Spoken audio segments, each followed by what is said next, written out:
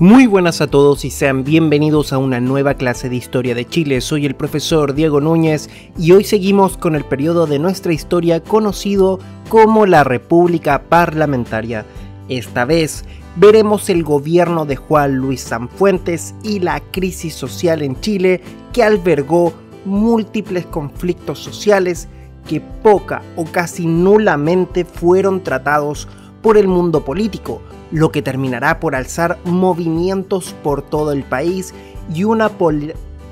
y una polarización política. ¿Cómo terminará el gobierno de San Fuentes? Sin nada más que decir, comencemos la clase.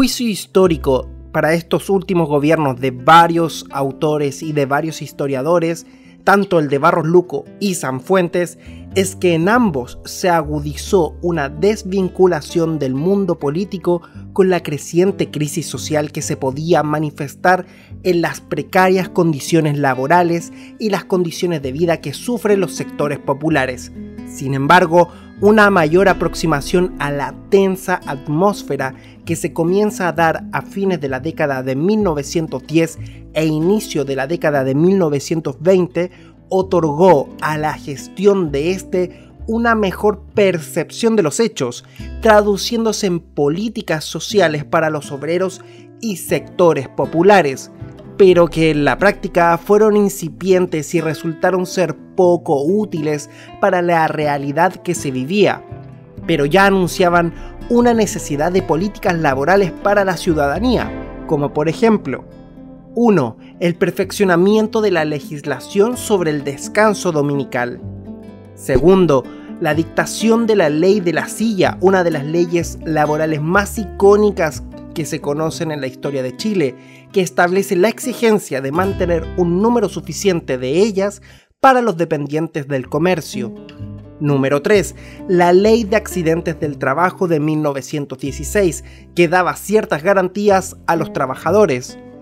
Cuarto, la ley de servicio de cunas en las fábricas donde trabajaban mujeres. Esta es una de las leyes que va a favorecer en gran mayoría a las mujeres ya que son las impulsoras del mundo industrial en Chile, ya que la industria chilena era bastante incipiente y en su gran mayoría estaban en las textiles, donde en casi un 100% trabajaban mujeres. Quinto, ley de retiro en beneficio del personal ferroviario en 1918 esto para incentivar la rotación del personal ferroviario. La legislación social empieza a caminar en Chile y el gobierno de San Fuentes busca mayor avance en cambios estructurales e importantes para el desarrollo social nacional. Por ello, la ley más importante que tendrá el periodo parlamentario y este gobierno es sin duda alguna la Ley de Instrucción Primaria Obligatoria de 1920, que fue principalmente diseñada, propuesta e insistida por Darío Salas, la cual fue capaz de develar una problemática que existe desde el inicio del siglo XIX y desde que se comenzó a implementar ha sido una de las más importantes leyes educativas de la historia de Chile hasta el día de hoy. El plan de Darío Salas era buscar la apertura de más de un centenar de centros educativos entre escuelas e institutos tanto en la capital como en las provincias, para poder combatir el analfabetismo y a su vez incentivó el crecimiento de la educación superior e instituciones de educación técnica y agrícola para formar a los trabajadores en las áreas que se requería en la economía del país. En el ámbito económico, el gobierno de Juan Luis Sanfuentes se vio frente a una posible crisis económica, pese al auge del salitre por la Primera Guerra Mundial. Debemos recordar que este mineral es utilizado para la creación de pólvora y Chile es uno de los países extractores más grandes del mundo en el siglo XIX y en el inicio del siglo XX. Sumado a ello, gran parte de las empresas privadas que extraen el mineral y lo exportan son británicas, nación líder de uno de los bloques de este conflicto bélico. El problema va que la alianza alemana de Austria-Hungría y de Turquía no tenía acceso a este mineral, por tanto se esmeraron para crear salitre sintético, el cual era mucho más barato, mucho más fácil de producir y mucho más fácil de traer, ya que Chile tenía que transportar desde barcos hacia Inglaterra, lo cual podía tardar seis meses y no garantizaba que el 100% pudiese llegar en buen estado, lo cual se transformó en los siguientes años en una dura competencia económica que iría mermando el valor de este mineral. Por ello, el gobierno de Juan Luis Sanfuentes, que previó que en un futuro el salitre ya perdería su valor, buscó promover la inversión extranjera y fomentar la industria y la agricultura, aunque esta era incipiente y casi inexistente. Entre las medidas que se tomaron fue la creación de la Sociedad Nacional de Agricultura en 1919 para promover la modernización de la agricultura chilena y mejorar la producción y la calidad de los productos agrícolas, en los que se ve gran potencial en esta área. También se llevó a cabo la primera ley de fomento a la industria nacional que tenía como objetivo proteger la industria nacional y promover su desarrollo, la cual es el primer paso dado por el Estado chileno de sumar al país a la revolución industrial y poder librarse de la dependencia económica que se tenía con las potencias de primer y segundo orden en el mundo, algo que ya había planteado antes José Manuel Balmaceda.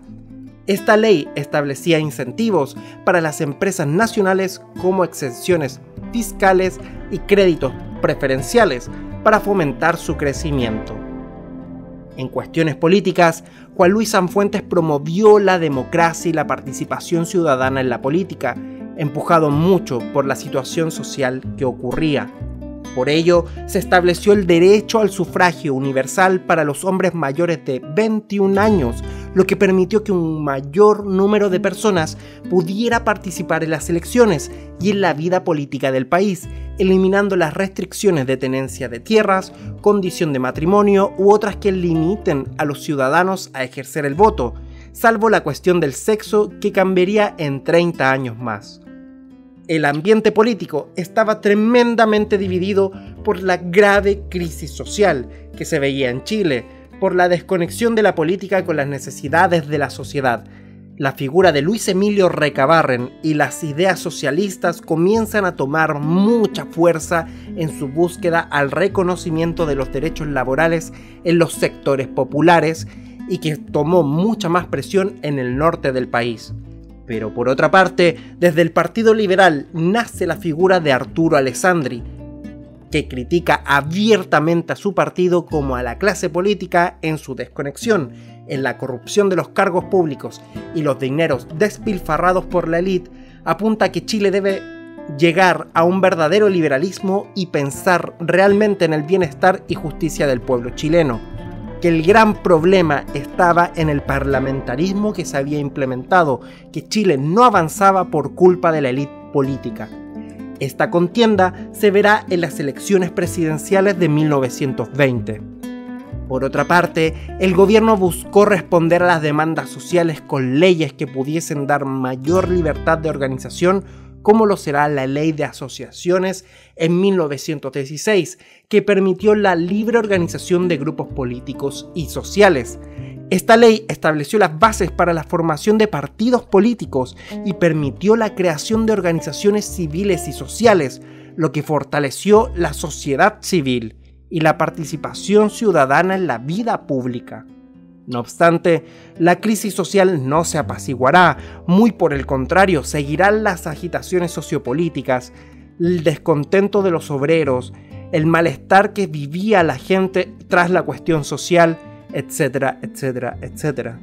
En resumen, el gobierno de Juan Luis Sanfuentes fue un periodo de importantes reformas sociales, económicas y políticas que sentaron las bases para el desarrollo económico y la democracia en Chile. Su legado sigue siendo importante en la historia política y social del país. No obstante, esto no podrá ser visto en el momento y si bien el gobierno de Sanfuentes tendrá mucha vista en el futuro, los problemas del presente no podrán ser solventados muy por el contrario, aumentará la tensión ya no solo en la clase política, sino que en las calles.